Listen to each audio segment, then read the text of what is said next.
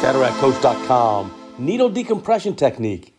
This is to decompress the bag for intumescent white cataracts.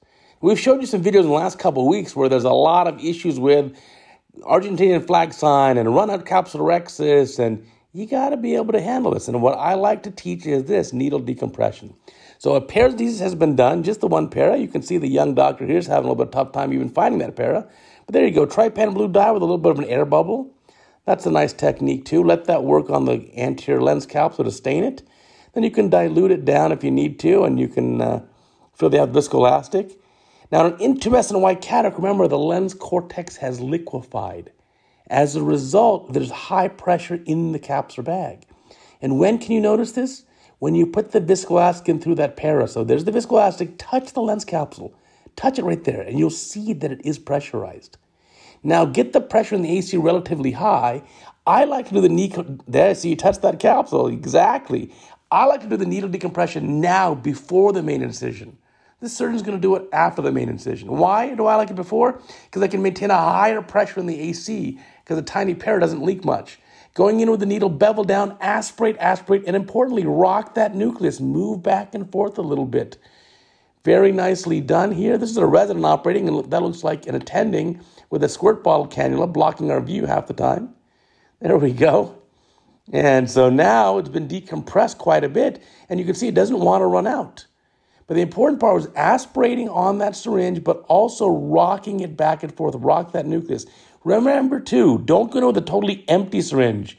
Get the syringe and, and get that 3cc syringe, let's say, and now load it up with a little bit of BSS, 1cc of BSS, and just to have it be able to flow back and forth a little bit. There we go. Now getting this rhexis done. Important in this case to get a good sized rhexis. Don't make that baby rhexis. This is not the best dilation. So beautiful rhexis going on here. I like it. And finishing it up, and you can see there's a lot of good control there. Now, this case did not have a tremendous amount of lens milk, which is great, but you need to know how to do that needle decompression. Now, for hydrodissection, very cautious because why? You can't see the fluid wave. So just gently, gently hydrodissect. If you notice the lens nucleus coming more anterior, you can tap it back gently. It should spin pretty easily because remember, all the cortex has been liquefied. Let's see the cataract surgery. I'm going to speed the video up real fast here. Let's just get to it. So here's the phaco probe. Let's see what this young doctor's doing, cleaning up some lens material there. Chopper going in and kind of a horizontal, a vertical kind of combo chop. Yeah, combo chop, let's call it. And that went through pretty nicely. Bring that around here, and then, yeah, like a vertical chop. And nicely done. Getting through those pieces. So vertical chops, remember, you're not hooking the lens equator. You're just kind of aiming down towards the optic nerve area. And so now aspirate these pieces out. Beautiful job. I mean, these days you've got some residents like this who are fantastic doing this level of surgery in their training. Wow, this surgeon's going to be fantastic in a few years. So pieces come down pretty rapidly, rotating that around and now buzzing again and chop chop. They're still keeping up with kind of like vertical chop technique here. Very nicely done.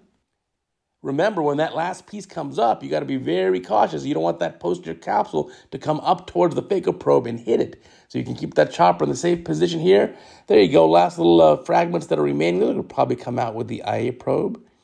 Well, it looks pretty darn good. This patient's to be so happy. Remember, white cataracts are like a miracle of modern medicine. Patients have absolutely no vision or really minimal vision, at best count fingers or hand motion vision. You can give them amazing vision in a surgery just as beautiful as this. Now, don't call these surgeries easy. These are not easy. Don't downplay the work you do. You trained for many years. To achieve this level of success is how many years, right? So that's not easy. Whether you can do it fast now or efficiently now is not the issue. The issue is people say, How long will the cataract surgery take? I say, ah, take about five minutes, but 20 years and then five minutes. So there you go. Lens going in the capsular bag. Beautifully done. Look at that rhexis, too. Fantastic outcome here. Beautifully done. Remember, if you've got a white cataract coming up, check to see is it intumescent. Touch the lens capsule when you feel the viscosity. If it's pressurized, Try the needle decompression technique. Please leave me a comment below. What are your favorite techniques for intumescent white cataracts?